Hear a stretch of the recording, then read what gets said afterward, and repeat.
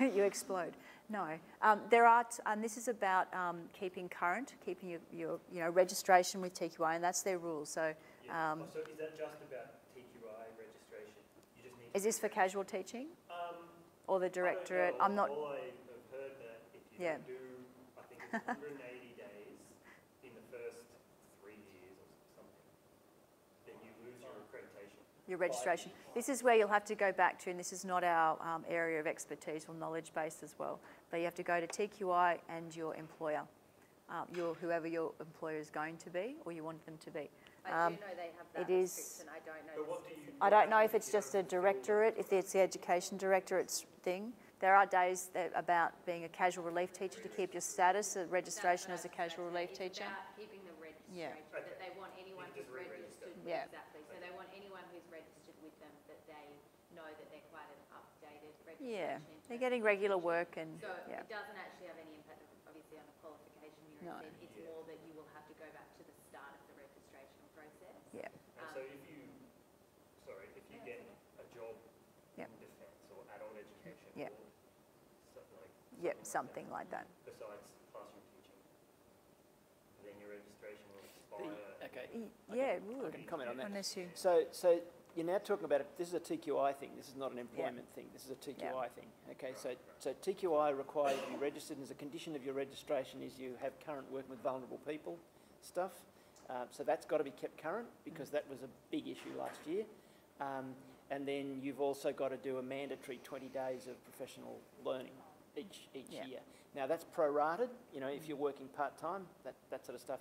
But they do keep a very careful watch on that. There's a there's a portal. You, you, you have a you log into your own TQI portal. As soon as you become registered, you have access to the TQI portal, and you've got to keep registered your own So professional learning. days Yeah. Yeah. pro rata if you, 20 so 20 hours, 20 sorry, hours, 20 hours, sorry, yeah, 20 hours, yeah. 20 hours. Sorry. Yeah. And, Yeah. and what happens? Yeah. And, and sorry, 20 hours. Yeah. yeah. And, and no, no, No, no, no, that's separate and, issue. And, but, but part of your registration is that you actually teach as well. Now, the advice that we have from TQI is, if, for example, you're going to take leave of absence for any reason, Mm. um, that's that's not uncommon for people to do that. For example, a lot of people might take parental leave Yeah. for a big chunk of time. Um, and so the advice from TQI is come and talk to them, and they can stop the clock and they can Yeah. make arrangements like that. Yeah. Um, what they don't want is people just to disappear off the system, Yeah, um, and because you then would have to come back and you know enter into some arrangement for re-registration. I mean, it's important for them that they know that everybody's there and keeping up to date with what's going on in their profession. Um, but the but the employment issue is a hot issue, um, and the unions are obviously very interested in this because they don't want someone to lose their registration through no fault of their own. You know, if for example there wasn't a job, could they lose their could they lose their registration? So that's Yeah. something that, that the union has been talking to TQI about. And they do have Yeah. a TQI teacher portal that you can Yeah. update your employment information, personal information, Yeah. um, things like that. Yeah. They have it all on record. so. yeah, This is one of the really nice things about, about TQI, because I happen to be on the TQI board, um, is that they're, they're very keen to be seen not just as a registration, but they're the teacher quality institute. So they're really interested in the registration and regulatory aspects, but also the quality, and that's where the professional learning and that sort of mm. stuff yeah. comes in. And, Yeah. and they're very keen to talk to teachers and be as flexible as possible, mm. provided that rigorous quality stuff stays Yeah. there. That's the sort of language you'll hear all the time. Mm. Um, and the other thing is that they're, they're trying very hard to, to, in a sense, capture everything that there is to do with a teacher's life and work in one place. And that's the portal that you, that you, to which you'll be given access. Um, that's where your professional learning stuff takes place. That's where information will be.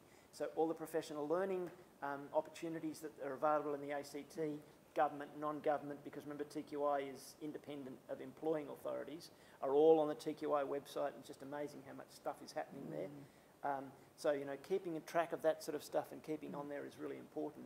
Um, and they are. They're very willing to talk to teachers. They run training sessions. So they're physically located just up in um, uh, what's the road? Uh, Haydon Drive. Haydon Drive. Just across the road here. They Yeah. actually lease, Across the road. up They- near Ginninderra Drive, yeah. they lease property from us. Uh, so they, they're just Where across the road. Headspace is. Um, yeah, Headspace and the Maths Association. Yeah. Yeah. So Lots of support keen- services over there for you, actually. talk to people. So um, Yeah. yeah. Yeah, Anyway, excellent. Thank you. No, that's great. Um, oh, da- yeah, David reminded me of something else too. Um, a part of your professional life should also be um, a consideration, just looking at uh, the union membership as well. So the education union membership. Now there is one for independent schools and there's one for the Australian education, so the public, gov- the government sector one. So they're just another group, and for um, a new educator, uh, that's actually really quite important, I think, just to to help with support. They give both of the organisations give free membership for students for pre-service teachers, so you can join in now. If you're in CPP four, Chris has probably already flagged that group with you, um, those contacts. Um, they're just another section of the professional community that's there to uh, assist you because they can um, respond for you, with you, um, advocate for you, with you while you're a pre-service teacher as well as while you're a, a new educator or a, teacher, you know, for a long time and whatever else. Um, so those sort of advocacy, advocacy groups are really um, useful and important to just have a look at. You don't need to align with union movements in general to gain benefit from it, but it's worth having a look at as another support group um, out there. And they're free while you're, while you're a uni student. Um, and, and they do have pro rata rates when you're a casual teacher or part time and then full time and stuff like that. So, so there's all those sorts of things. So, you know, you're, you're starting to be exposed to and now thinking about hopefully all those other organisations who will benefit from you uh, or you will benefit from um, membership and active um, involvement in their organisations. Lots of things to think about. And I was just going to say, see about free, you see I just noticed now that, that it's actually free membership, associate membership of the Australian College of Education. Let me highlight that. Yes. Where are you? See the top right box? Oh, that one. Free. And then as a career entrant for the next few years, it's 153. See, I pay Cheap. about, I pay about $300 a year. Subsidised. He's subsidising you. Um, but uh, yeah, if you want to talk about the college, but, Yeah, but this is the sort of opportunities that, and now is an excellent time, as Kathy used to say, Mm. you know, running that, that running metaphor, you sort of Stay in the line. probably more However. the- it- it- I use Yeah. marathon, they run all over the place. I'm a sprinter, stay in the line. You're Sprint start, end, so sprint Start to grab in those, Yeah. those opportunities as you're coming because professional associations in the union are very keen Mm. to get involvement from people just like you. They, they really Mm. want, because what they don't want is to become a membership association of people, you know, post 50 who are, you know, looking at retirement. Our age. They're, they're keen to get people who are, Hmm. you know, entering the career and can really give that invigoration to the profession. So you would be welcomed with open arms in any of those sorts of associations. And it's interesting, you, it's like a, a taste test. You can taste the free, uh, and then if you don't like it, you don't have to continue. So while things are free, it's kind of useful to join and see what it's like and see if it's something you can contribute to or you can benefit from. Um, so that's quite useful because I know as a beginning teacher, you're on a, I mean, it's a, it's a much better, I think, salary than it was when I started 20 odd years, 25 years ago. But um, all things are relative. It doesn't feel like much money when you're in it.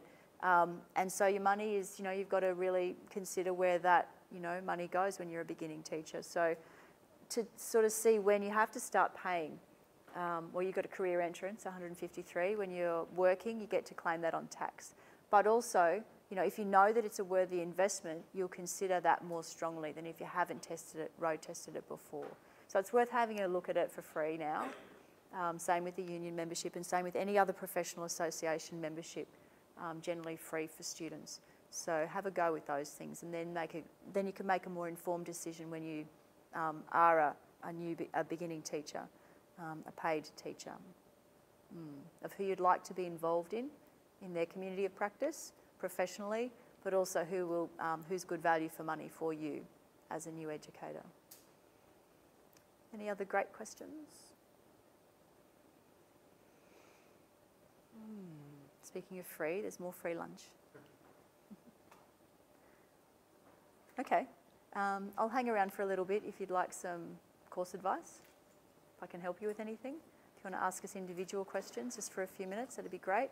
Otherwise, mooch around and eat more food, take soft drink home,